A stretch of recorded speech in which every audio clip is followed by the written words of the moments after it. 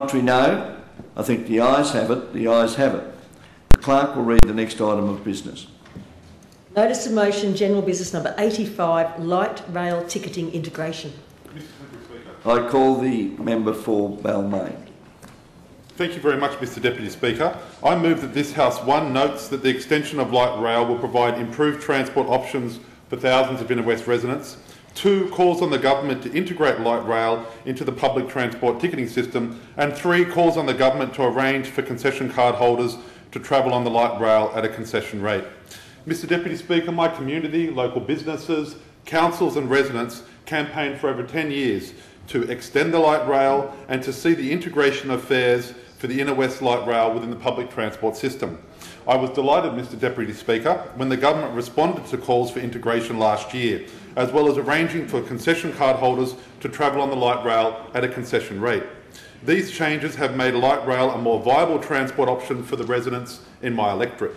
In particular, concession card holders, pensioners in particular, who had been excluded from obtaining concessional fares on the light rail network. I welcome the government's purchase of the light rail network as a victory for the local community and an opportunity for more efficient, integrated public transport ticketing. The Greens, alongside the local community, had campaigned long and hard to bring the light rail network back into public hands. We believe that the public sector can best deliver this system, and I'm delighted that the government has purchased the light rail and the monorail system. I acknowledge the work of the Minister in this regard, taking forward these positive steps. The light rail passes through my electorate, Mr Deputy Speaker, and as a result of these changes, it has been better utilised by residents. Having taken ownership of the light rail network, the government now needs to take steps to fully integrate ticketing with a broader transport network. I wanted to note to the House that the limited MyZone ticketing was introduced for light rail services in June 2011. There are approximately 127,000 recorded boardings made on light rail using MyZone ticket in the first month. Total patronage, which includes MyZone and light rail tickets in July 2011, was about 25% higher than the same time in the previous year, demonstrating the important role of even this limited integrated ticketing. A fully integrated ticket system, including concession fares, would greatly increase the use of the light rail system. I note the government's commitment to introduce the Opal system. We know about the disgraceful waste of money under the former government, 100 plus million on the wasted T card system, a terrible waste of government funds.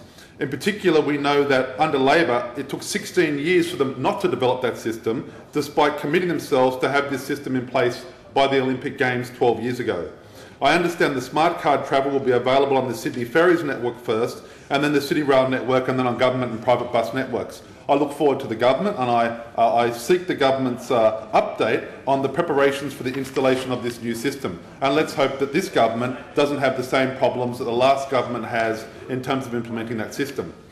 The government's purchase of the light rail network should pave the way for the speedy extension of the light rail from Lilyfield to Dulwich Hill and the construction of the Greenway alongside the light rail. The government has an opportunity to deliver this system, which Labor failed to deliver in my community. As I'm sure many of this House are aware, we were very disappointed when this government took office, announced an almost two-year delay in the construction of the light rail and the abandoning of the Greenway system. But I joined local mayors, MPs and Friends of the Greenway Community Group and others to present the 10,000 signature petition on the steps of Parliament on 31st of May uh, 2012. Uh, it's the steps of Parliament in New South, uh, the steps of Parliament in 2012. The Greenway is an important aspect of the broader integrated transport network, and after over a decade of campaigning, it's time for this government to deliver. I want to congratulate all of the dedicated supporters who have been involved in this campaign, particularly Friends of the Greenway. The Greenway provides an integrated active transport link which will enhance the effectiveness of the light rail. The Minister for Transport should support this project as a vital opportunity to encourage active transport and engagement with this light rail system. This includes an integrated pedestrian way and cycleway. Over 22 schools are involved in this project and they've been very disappointed that the government is refusing to, to fund this. It was in its first budget that the Liberal government announced the delay for the light rail, signalling a very significant setback. Now, there's been also, should be noted, very strong community support for the extension of the existing light rail from Lilyfield to Dulwich Hill, and we have seen transport experts backing this proposal. I look forward to the government updating the House on the timeline for, for the light rail extension to Dulwich Hill. When the government took office, we were told there would be an almost two-year delay, and it wouldn't in fact be opened in 2012, but we would expect the opening in the first quarter of 2014.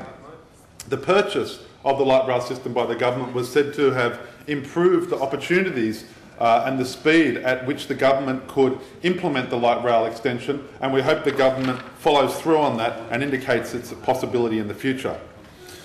One point I would like to make is on student concession cards. There's two high schools in my electorate, St Scholastica's and Sydney Secondary College.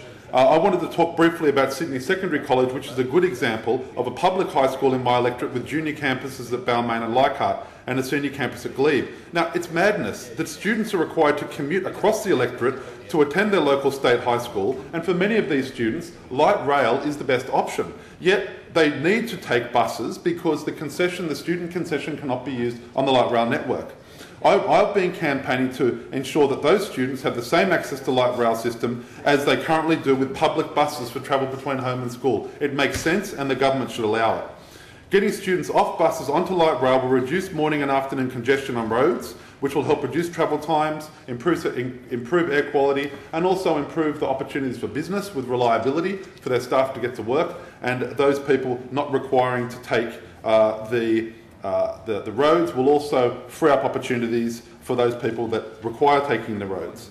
Um, Mr Temporary Speaker, in conclusion, it's also important to note in my motion that the government has committed to feasibility studies to extend the light rail in the CBD with central to Circular Quay, uh, to also look at from central to the University of New South Wales, from Central Railway Station to Sydney University. Uh, I look forward to the government updating the House on these important steps forward that need to be taken, and these feasibility studies need to be expedited to make sure that the light rail network can be truly an integrated light rail network, both in terms of ticketing but also in terms of the trip opportunities that are able to be taken by residents and commuters. Uh, it's important also to note in conclusion, Mr Deputy, Mr Temporary Speaker, that the issues about the use of concessions, as I've raised in this House before, in a question to the Minister for Transport, about uh, job seekers being able to get access to My Multi tickets uh, is also a very important point in this debate. So I commend the motion to the House and I look forward to a discussion on this motion today. The question is that the